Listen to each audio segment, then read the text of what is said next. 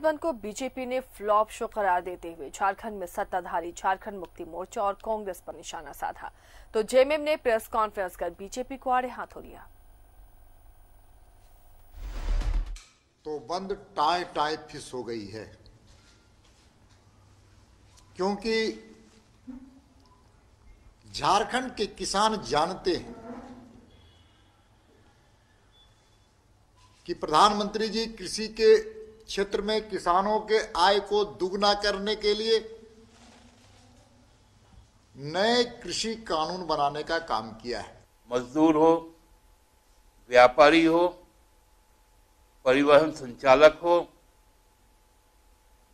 युवा हो, महिला हो, या अन्य बैंक, या संस्थाओं के कर्मचारी, सबों ने किसान के साथ, एक साथ खड़ा होकर यह प्रकट किया है कि हम जो भी लोग ईमान की रोटी खाते हैं,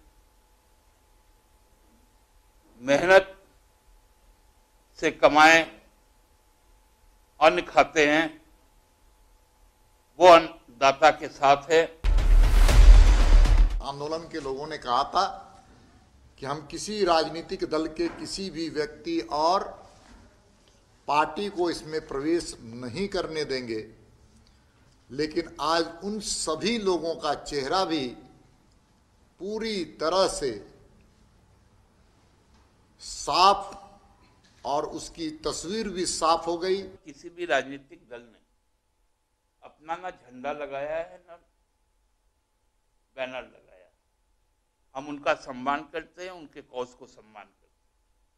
और उनकी इच्छा का भी सम्मान करते हैं। इसलिए हम लोगों ने अपने आइडेंटिटी के साथ अपना काम किया है। और आप ये जान लीजिए, आज किसान का बेटा गलवान घाटी में भी खड़ा है।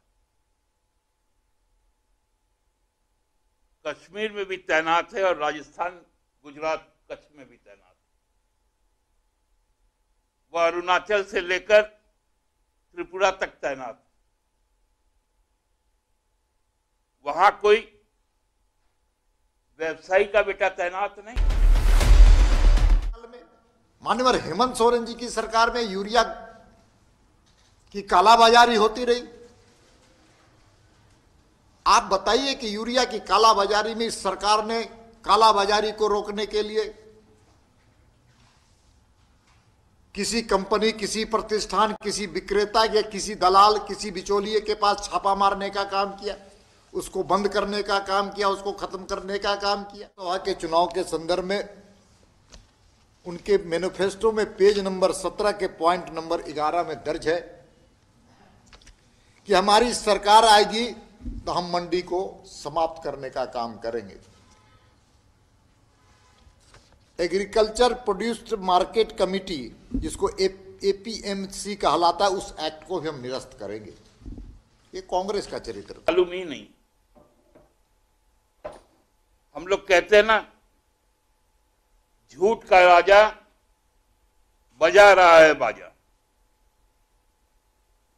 एक पर एक झूठ। धान की खरीद पर भी बोले। एक संस्था है भारत सरकार की, जिनको महारत हासिल है, जो विशेषज्ञ संस्था है, Indian council for agriculture research. उनके द्वारा कहा गया है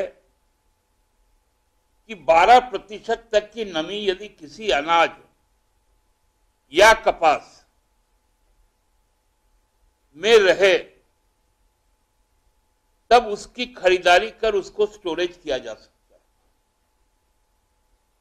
अन्यथा वो वृथा जाएगा। मंत्री जी की अपील पर भी झारखंड के किसानों ने उस अपील को, मुख्यमंत्री के निर्देश को, या मुख्यमंत्री जी के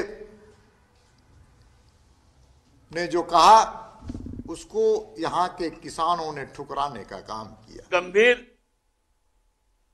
चक्रावट से हम लोग बचना चाहते हैं, लेकिन ये राज डर के या हेमंत जी शासन नहीं चलाएँगे।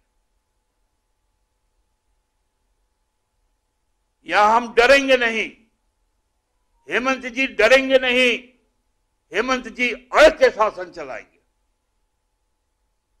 ये हम लोग